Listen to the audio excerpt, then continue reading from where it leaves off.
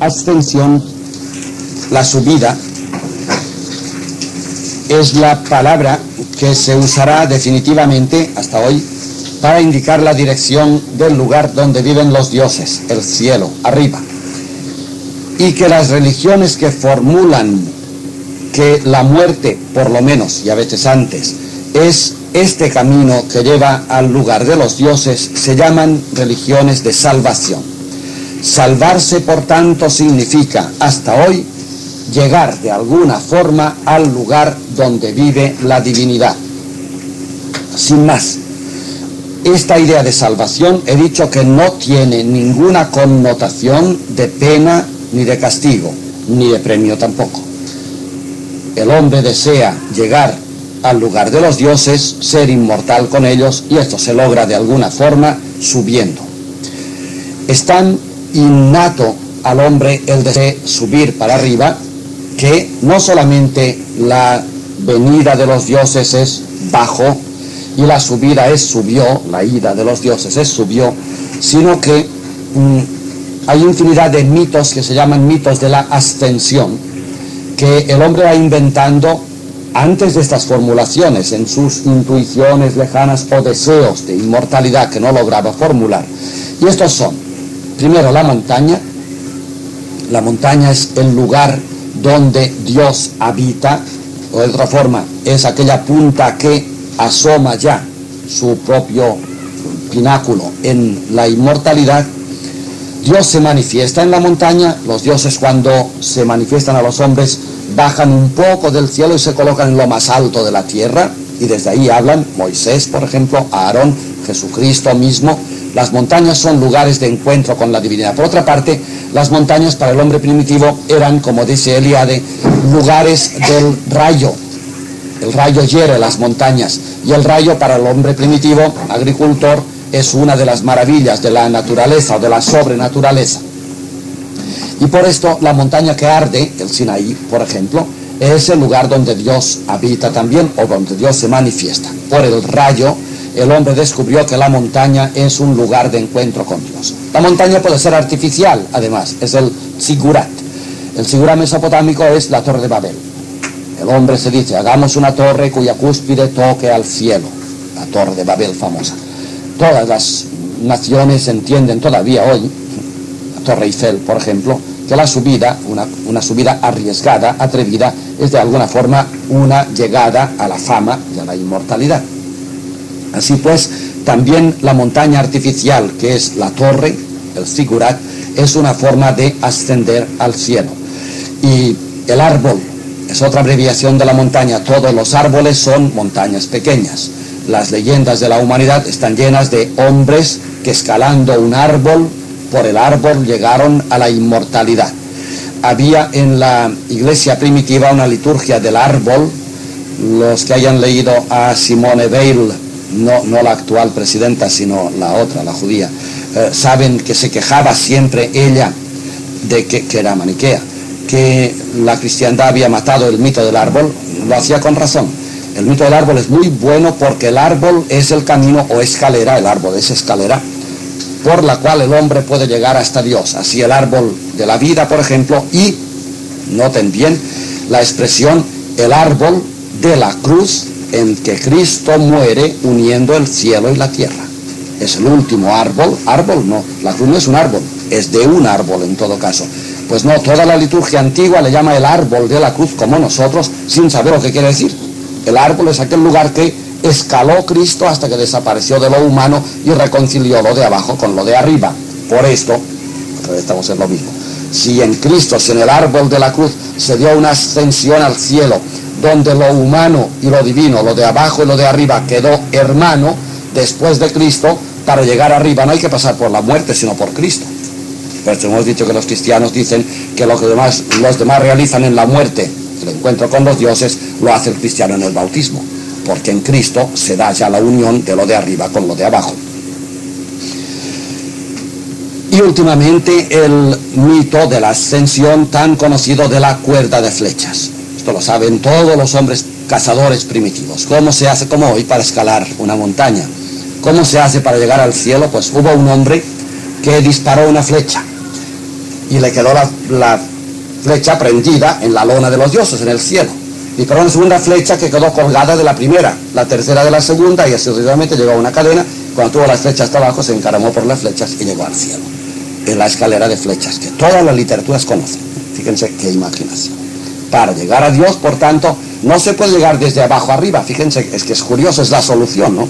Con una flecha tú no puedes llegar para arriba, tú has de poner la primera arriba y colgar las otras de ella como un escalador. Y así escalas el cielo. Son todos mitos de ascensión. La idea de subir es, desde, desde entonces hasta hoy, es indiscutible. Es una idea que sugiere inmediatamente a todo oyente la idea de la divinidad. Y en cambio el bajar no. Bajar, ni siquiera nosotros los civilizados, modestia aparte, nos sugiere la idea, ¿no? Bajar, bajar a los dioses. No suena. Subir a los dioses, sí. Con ello entramos en la segunda parte. Ir a los dioses es una subida. Una subida que si se logra, logra que el hombre se salve. Y que es lo contrario. Y aquí seguimos de purificar conceptos. ¿Qué es lo contrario? Y el que no logra subir,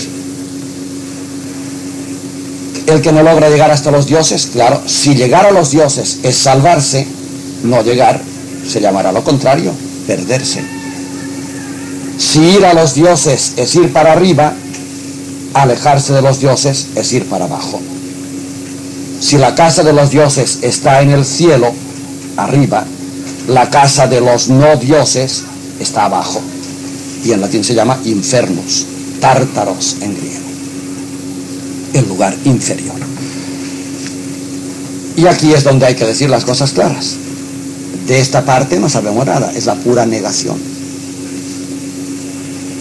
Se ha dicho que idea de premio y castigo es veterotestamentaria. En el Nuevo Testamento no está la idea. No hay que hablar de premios y castigos.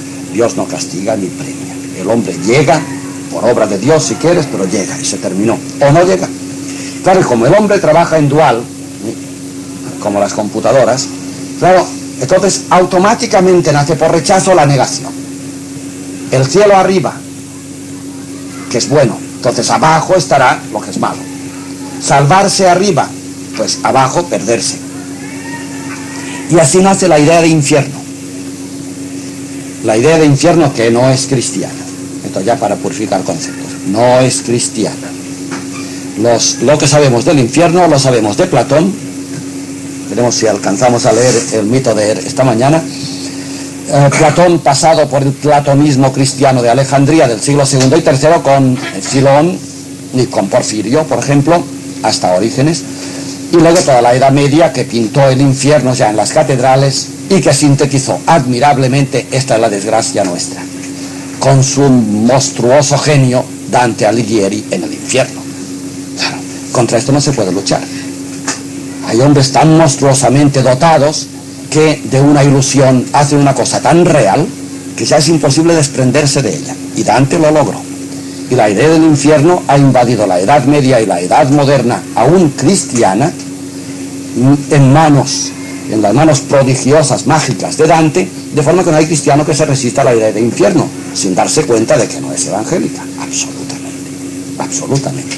Cristo habla del Sheol, aceptando una idea judaica, pero el Sheol no es un lugar definitivo, el Sheol es un lugar de tormento que termina, es limitado. Y Cristo habla de infernus, lugar inferior, que los griegos, nuestros hermanos cristianos, tradujeron, como diré ahora inmediatamente, para corregir. Pero quiero decir que la teología actual eh, solamente dice dos cosas muy buenas sobre el infierno. Ya hay que ser discreto, no hay para qué apegarse en nombre de Cristo a cosas que no son cristianas, que es una forma de no ser cristiano. El infierno o no forma parte del mensaje evangélico, no forma parte y parece que no forma parte. Pero, si tú te empeñas, esto es una discusión que tuvimos hace muy pocos días, si tú te empeñas en decir, no, para mí las palabras que usa Cristo, el Sheol, el Infernus en latín, el, el Hades, en griego es Hades la palabra, para mí son palabras que están en el texto evangélico, que lo están, y están queridas No como Cristo que aceptó una corriente para darse a entender cómo usaba las palabras, usaba los conceptos también, que es la idea general. Cristo usó el infierno como un concepto para darse a entender, pero usando el concepto como aquí las palabras, sin querer decir que el concepto sea real y auténtico. Pero si te empeñas y dices, no, para mí la palabra Hades que está en el Evangelio es querida, Cristo la quiere, bueno, pues peor todavía. Entonces, o el infierno no está en el Evangelio, o sí está, está en el Evangelio. Y el Evangelio es Evangelion, una buena noticia. Por tanto, si está, es una buena noticia. Así que tranquilícense las conciencias. O no está, o si está, forma parte del Evangelion, y Evangelion es buena noticia. Todo Cristo, el Dios curó definitivo, es una buena noticia, es que Dios es nuestro Padre y que vivimos en Él, nos movemos y somos en Él. Esta es la noticia. Dentro de este contexto, si te empeñas, está el infierno. Es una buena noticia o no está en el Evangelio. Eso es lo que sabe el cristiano. Más allá de son ganas de masoquismo o.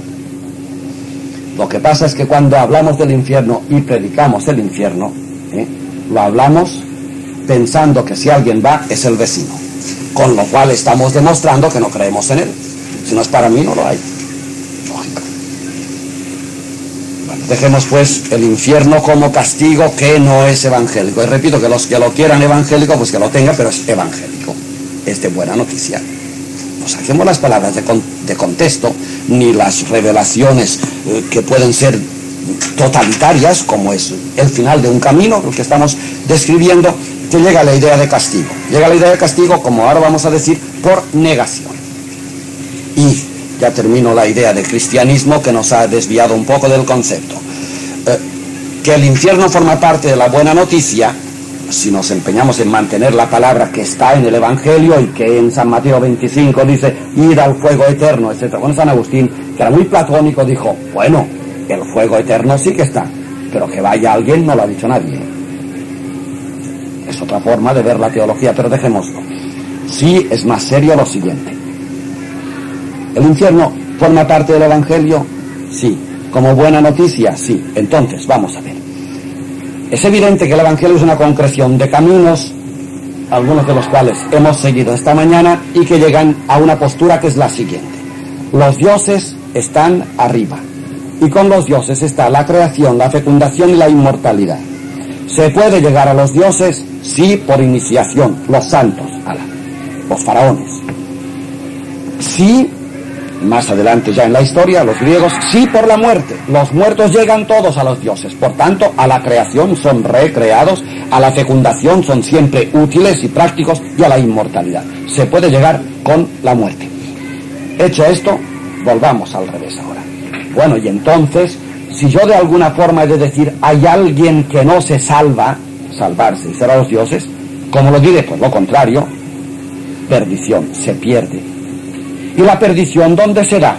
Claro, si la salvación se da arriba, la perdición se da abajo. Claro, y si la salvación que se da arriba, todo junto se llama cielo, hay que meter una palabra para abajo. La perdición que se da abajo, se da en un lugar que se llama abajo, lo inferior, el infierno. Luego, el infierno es lo contrario del cielo, Y creamos el infierno por dígito, por dualismo, porque así como hay ser y no ser, ahora estamos en Parmenides, ¿eh?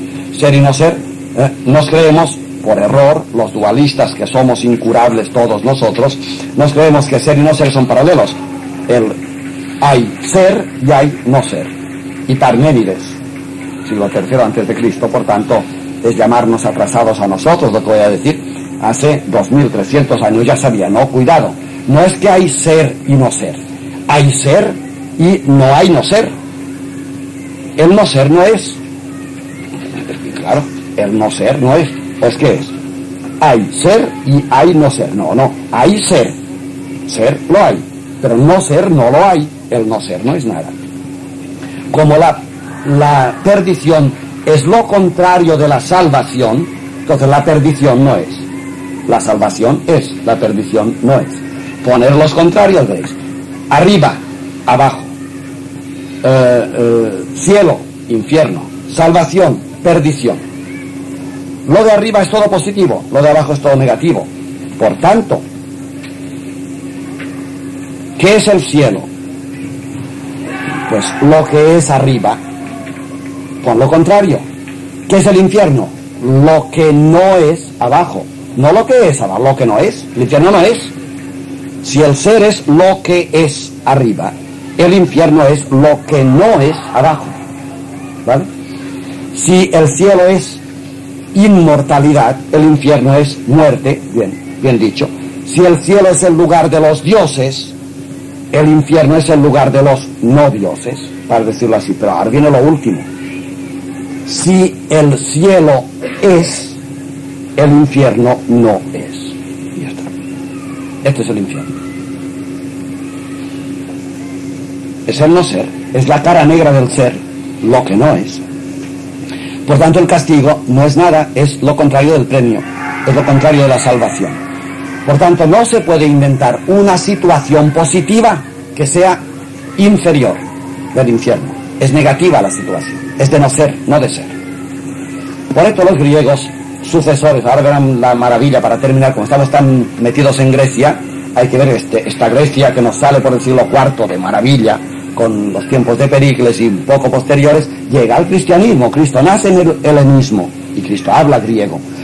Y los cristianos también. Y la gran escuela más brillante, más platónica que tuvo el cristianismo fue la escuela de Alejandría, en el siglo II, con Panteno, con Clemente Alejandrino, con Orígenes, por ejemplo. Orígenes es el gran cristiano que escribe el libro de la apocatástasis.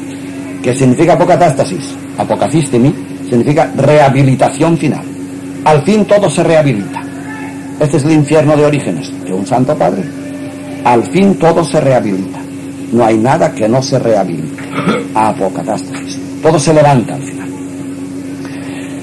Pero poco después de Orígenes, los grandes capadocios, Basilio, San Gregorio Niceno y San Gregorio Nacianceno, tienen una teoría muy hermosa que dio lugar a una frase que nadie entiende. Y perdone que ahora esté otra vez en paréntesis cristiano. Es la frase del credo que dice que cuando Cristo murió, ¿qué hizo después de morir? Subió al cielo, no. Bajó a los infiernos. Pobre de él. Pobre de él. Y claro, los griegos que sabían esto, los, capadocios dominan a Platón. No lo dominan, lo canonizan. Para, Platón es santo en Grecia. Aunque sea precristiano. Era Clemente Alejandrino que decía, Dios que dio, el mismo Dios que dio profetas a Israel, a Grecia dio sabios y filósofos el mismo Dios. Sea que los Sócrates es de la categoría de Isaías, para Orígenes y para Clemente Alejandrino, que son santos padres, son los que ven el cristianismo frontal, saben lo que dice. Bueno, pues estos hombres acuñan esta expresión que desgraciadamente no entiende nadie hoy y que tiende a desaparecer del credo, y que es maravillosa. Cristo muere y baja a los infiernos, y dice Basilio, cogiendo a Platón. Claro. Los infiernos significa dos cosas, una positiva y una negativa. Fíjate que, que, que filólogo es. Infierno es lo inferior, lo de abajo, lo, lo, último, lo más profundo. Entonces la idea ya, la negación de altura del infierno, si es algo es negación de arriba, es lo de abajo. Y sí, positivamente Cristo bajó a los infiernos, significa, bajó a lo más profundo de toda realidad. Qué maravilla, ¿verdad? Por ejemplo, bajó a lo más profundo de las estrellas. Las estrellas es lo que Platón quiere tanto. Las estrellas han sido rehabilitadas por Cristo, no solamente en su brillo, sino en su núcleo. El núcleo del cosmos ha sido visitado, porque el infierno, el cogollo más profundo, lo, lo íntimo del agujero, del recoveco del universo, ha sido visitado por Cristo muerto. Segundo, no solamente esto, sino la tierra misma. La tierra misma no ha recibido la redención de Cristo superficialmente. Es el eje de la tierra el que ha sido salvado por Cristo.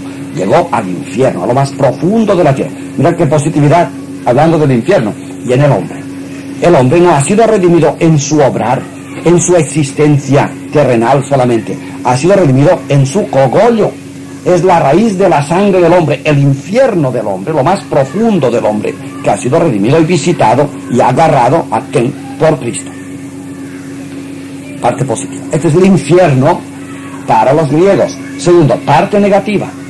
Cristo bajó a los infiernos significa que Cristo bajó a lo más negro de las negruras, la soledad. Pues Cristo estuvo en el último reducto de la soledad. Fíjense cómo no hablan del infierno que esperaríamos, ¿eh? ni en lo positivo negativo. El infierno positivo significa el cogollo de las cosas. Lo que hace que la verdad sea verdad es la definición de verdad. Pues la definición de verdad ha sido visitada por Cristo muerto, ya en su muerte. El infierno negativo significa que ha estado en las cosas malas, negativas, para decirlo, para entendernos, ¿no? En las cosas negras ha estado en el cogollo más negro. En la soledad, pues en lo más negro de la soledad ha estado Cristo. En la traición, en lo más negro de la traición, en el último agujero de Cristo. En el desamparo, en el quebranto, en lo más profundo del quebranto, ahí ha estado Cristo. En la maledicencia, en lo más profundo ha estado Cristo. En la muerte, en el infierno de la muerte, en lo más profundo del agujero negro de la muerte, ha estado Cristo. Y aquí termina la exposición. Este es el infierno. Como ven, es buena noticia, ¿no? Lo que decíamos antes. Este es el infierno. Bien, pues hasta ahora, por esta línea, las religiones de la tierra, incluso la cristiana, no tienen más infierno que este. Por esto decía San Juan que el cristiano que ante Cristo tiembla no es cristiano. Una realidad evangélica que nos haga temblar, como sería el infierno que entendemos tantas veces, no es cristiano. En tanto creemos en el infierno medieval, dantesco, en cuanto no somos cristianos.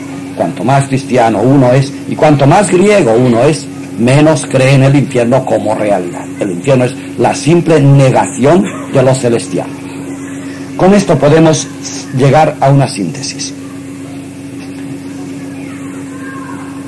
La altura es el cielo. Volar por los cielos es ser semejante a los dioses. Es la vida. El cielo es la vida y la vida por tanto está en lo alto. Lo contrario es el infierno. Abajo por tanto están el infierno inferus, ¿no? Que serán lo contrario de lo que hemos dicho. No es vida. El infierno por tanto no es vida, no es ser, no es realidad. El infierno es el puro contraste del cielo y lo contrastante no tiene realidad. Así lo vio Platón en la República. El mito de Er, que todo el mundo conoce, es un, un mito hermosísimo, que no podemos leer todo porque es largo. Como si el punto.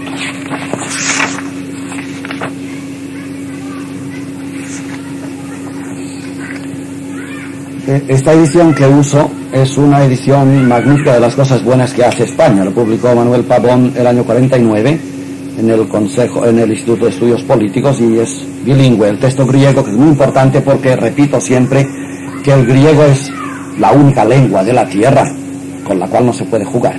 Las palabras son sagradas en griego y todas las traducciones son tergiversaciones. inevitablemente Ahora decíamos en la tertulia, y conviene recordarlo, que los griegos llegaron a acuñar un vocabulario tan perfecto, ya lo ven, hemos jugado nada más con palabras en toda la mañana, un vocabulario tan perfecto que cuando los griegos, un poco anteriores a Juan, a San Juan el Evangelista y Juan el mismo, cuando nos quieren decir que Cristo es Dios, lo dicen de esta manera. Cristo es la palabra de Dios, logos. La palabra es sagrada. Si tú logras ser palabra, eres un Dios, juro, eres hijo de Dios. La palabra es sagrada y Cristo es la palabra. Que bien lo dicen los griegos, eso es nuestra adoración que tienen por la palabra.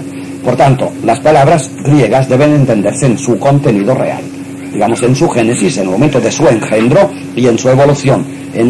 Hay que coger la alforja de cada palabra y ver el contenido, aunque sea perdiendo años. Pues bien, esta edición española de Pavón es muy buena porque pone el texto griego pone en general el significado cuando es dudoso y luego la traducción castellana que está muy bien hecha.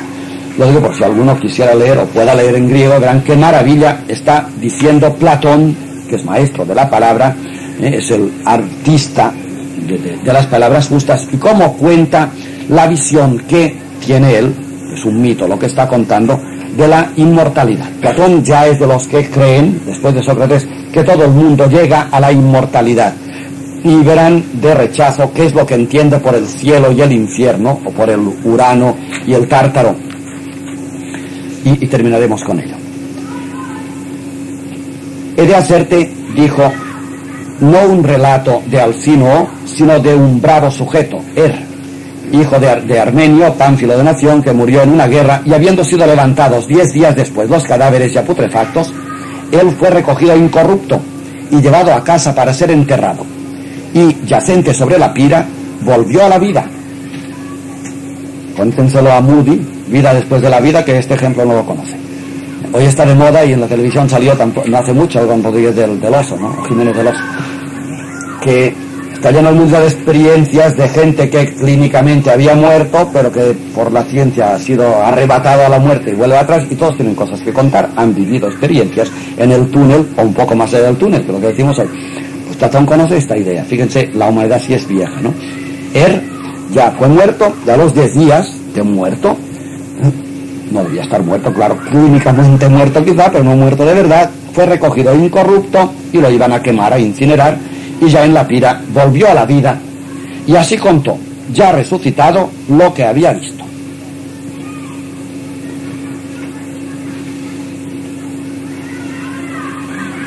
Es importante porque eh, es un resucitado. Y verán ustedes cómo esta resurrección a Platón le duele y les duele a todos los griegos. Recuerden ustedes un caso en que San Pablo va a Grecia y en la pura plaza de Atenas, en el Areópago, empieza a hablar a los griegos y en un momento dado dice, y ahora voy a hablaros de la resurrección de los muertos. Y se ponen de pie los helenos y le dicen, oye guapo, de esto te escucharemos otro día si quieres. No queremos oír hablar de resurrección de muertos. Hasta ahora se había dicho que es que los griegos no creen en la resurrección. Bueno, y es verdad, pero hay que interpretarlo bien. Los griegos del Areópago, del tiempo de San Pablo, son hijos de Platón y saben perfectamente esto. Para el griego la desgracia suprema es la resurrección. Para Platón estamos en la vida y es, estamos viviendo, muriéndonos, lo que hemos dicho. De forma que el alma está enjaulada en el cuerpo como prisionera. Y lo que más apetece el alma es que se rompa el cuerpo y salga ella como la mariposa, la psique, volando al territorio de los dioses. ¿no? Entonces, la muerte es la liberación, aquí la idea de Platón. Y si a un griego que cree estas cosas, que el alma está prisionera, y que lo que hemos de hacer en la vida es perfeccionarnos de forma que el cuerpo se, se descomponga pronto y el alma pueda volar como mariposa, psique significa mariposa, como mariposa a los dioses. ¿Qué diremos cuando venga uno y nos explique? No, no, el alma cuando tú te mueres vuela a los dioses, pero viene un día en que el cuerpo vuelve a resucitar y el alma se mete otra vez en el cuerpo. ¿Cómo? O sea que el alma vuelve a ser prisionera otra vez del cuerpo. ¿Para eso estamos? Lo peor que le puede pasar a un griego es que el cochino cuerpo resucite. Si no lo queremos para nada. Y Pablo les fue a hablar que había resurrección de los muertos. No, mira guapo, de esto no. No, queremos oír. Eso demuestra cómo hay que predicar con sistemas, ¿verdad? Es que hablar de cuerpo y alma es un dualismo nada más. No lo cree nadie hoy en día ya. Y hay que tener cuidado con la predicación. Para un, para un dualista, sí. La resurrección del cuerpo, como le queremos al cuerpo, pues bien, el cuerpo resucita y seremos otra vez felices en la eternidad. Para un platónico, que lo único que vale, monista, lo único positivo es el alma, y que tiene la desgracia una vez en la vida meterse en el cuerpo, o dos veces, como veremos, en el cuerpo, lo peor que le puede suceder al alma es que se vuelva a encarnar. Y resurrección de muertos significa que el alma se vuelve a encarnar. Es una desgracia. Bueno, entonces, por donde las religiones y las palabras tienen sus, sus sinos, sus destinos y sus recovejos que hay que estudiar bien. Él, pues, resucita y cuenta lo siguiente. Dijo que después de salir del cuerpo, su alma, el dualismo platónico de momento, ¿eh? el dualismo maniqueo, el cuerpo y el alma, su alma se había puesto en camino, siempre es caminar, con muchas otras, y habían llegado a un lugar maravilloso, donde aparecían en la tierra dos aberturas que comunicaban entre sí, son dos agujeros que salen de la tierra, y otros dos desde arriba, desde el cielo, frente a los dos de abajo. O sea que llegan a una pradera muy feliz, muy hermosa, muy en primavera, y por esta pradera salen dos túneles, y arriba en el cielo hay dos bocas de túnel que coinciden con las de abajo. En mitad había unos jueces, el juicio final de los cristianos tiene su nacimiento aquí. No hay juicio final, el que cree ya ha sido juzgado. Pero como somos Platón,